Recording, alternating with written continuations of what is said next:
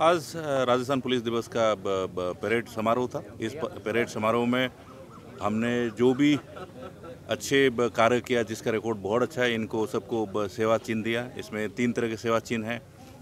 सर्वोत्तम, अति उत्तम और उत्तम सेवा दिया है। आपको पता है मतलब राजस्थान पुलिस दिवस के तहत हम पुलिस में साफ़ सफ़ाई पुलिस लाइंस में, ऑफ़िस में, हर जगह में साफ़ सफ़ाई, साफ़ सफ़ाई कर रहे हैं, सांस्कृतिक कार्यक्रम रख रहे हैं, ताकि मतलब पुलिस का जो काम करने का माहौल है, ये अच्छे बने रहे।